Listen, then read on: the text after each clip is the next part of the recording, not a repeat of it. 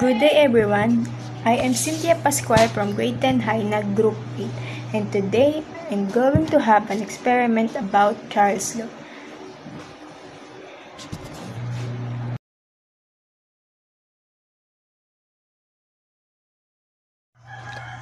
Now we're going to put the balloon in hot water and see what will happen after a minute.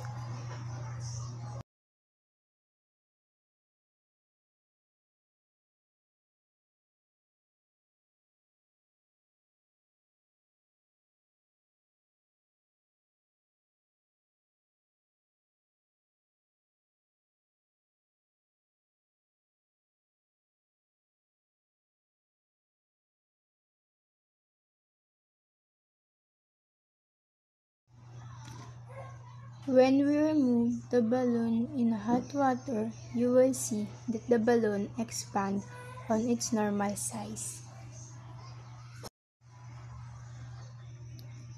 And we're going to put the second balloon in a cold water and observe what will happen after a minute.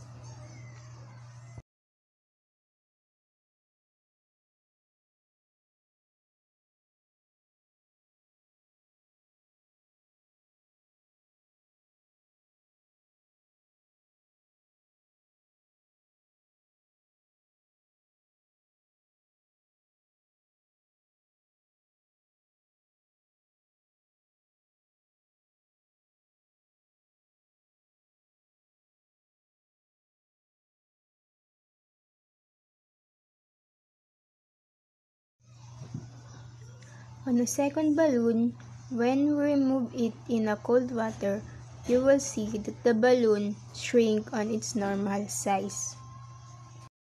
Charles' law is an experimental gas law.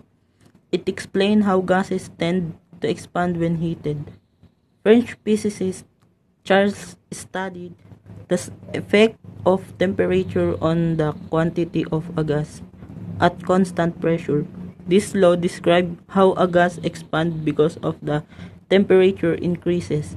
Conversely, a decrease in temperature will, will cause a decrease in volume. Definition Volume is directly proportional to temperature while having constant pressure and number of moles of gas. Concept When the volume is high, the temperature is also high. When the volume increases, the temperature increases.